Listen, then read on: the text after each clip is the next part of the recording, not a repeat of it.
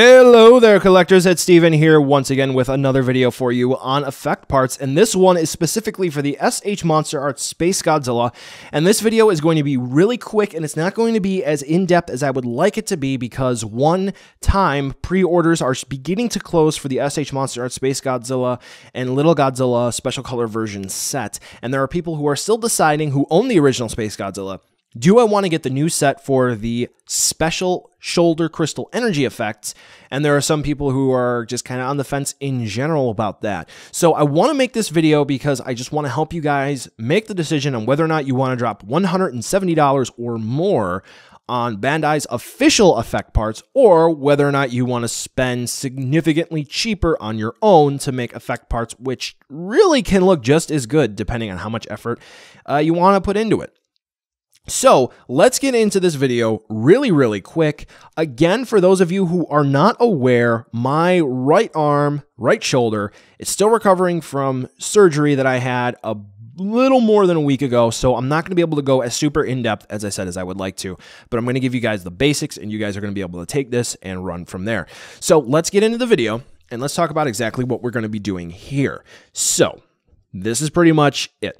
If you want to get effect parts to kind of look like this for your Space Godzilla, you're going to need tinfoil. You're going to need a hot glue gun with hot glue.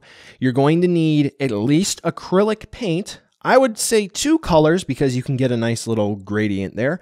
And um, creativity. That's it. So what do you do? Well, you're going to need non-stick tinfoil, okay? I here have Reynolds wrap. I got it from my local grocery store. They had it for sale, super cheap. Um, you want to get non-stick because if you don't get non-stick, it's going to be fun pulling out all the different pieces of tinfoil that are going to come off with the hot glue. Um, so you want to get non-stick. Uh, and because non-stick is very easy to see which side is the non-stick, shiny is the stick, not shiny is non-stick. So that's good.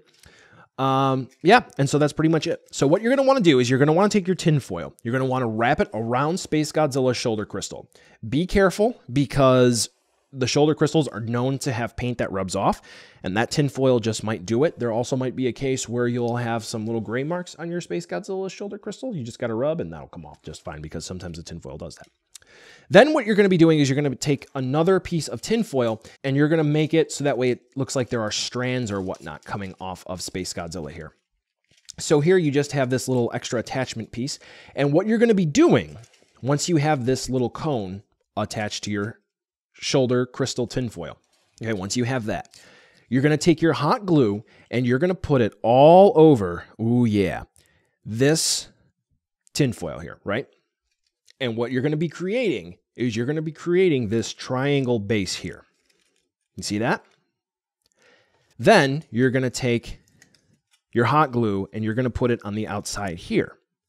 This will create your strands that you have here. Then what you do is you take the two different pieces, once the hot glue is all nice and settled, pull the hot glue off, take your hot glue gun and make any corrections that you need to make, you know, fix any holes, any patches that you don't like. Hot glue the two pieces together. That's it. You can just even heat up the tip of the glue gun and just uh, attach it together like that. Then once you have that, take acrylic paint or whatever paint you want. This is what I used. Cheap Michaels or Walmart acrylic paint. Water it down and just brush it on. That's all you gotta do. Just brush it on. And then once you're done, you just plop it right onto your uh, Space Godzilla right there like that. And uh, congrats. Now Space Godzilla has some uh, energy beams coming off of his shoulder crystals. So hopefully this helps uh, some people save some money from spending uh, uh, insane amounts on the special color version set when they don't need to buy it, right?